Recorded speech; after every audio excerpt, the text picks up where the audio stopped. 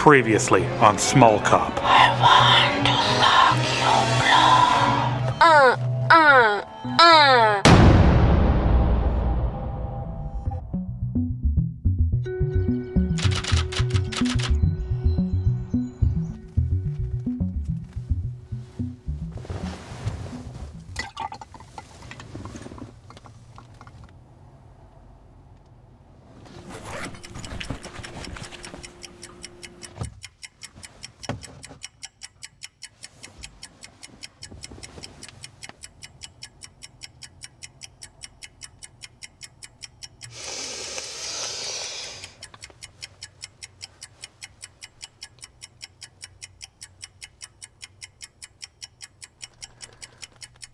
What are you doing?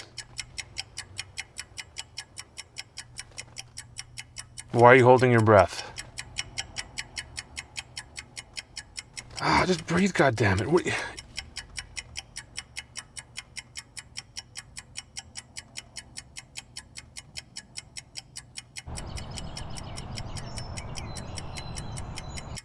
Just breathe, you idiot! Come on!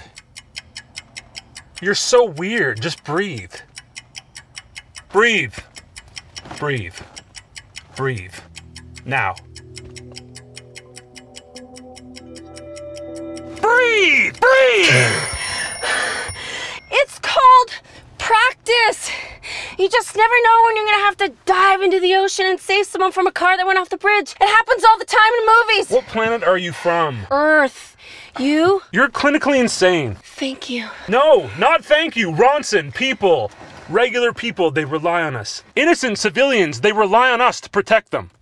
You know my grandmother Beatrice? Yeah, the one you named after you? Yeah. She was the first female police officer in this city, and she always said that we are here to protect and to serve. We do. She was quoting the LAPD motto. I know, that's not the point I'm trying to make, Ronson. The point I'm I want to suck your blood. the point that I'm I want to suck your blood. the point that I'm trying you know what, never mind. I just like I just want to throw you right off a bridge. Now you see why I'm practicing holding my breath.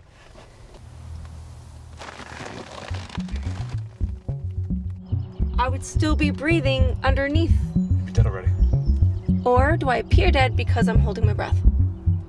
Double edged sword. I don't think that's the way double-edged sword works. It does, though. Two meanings.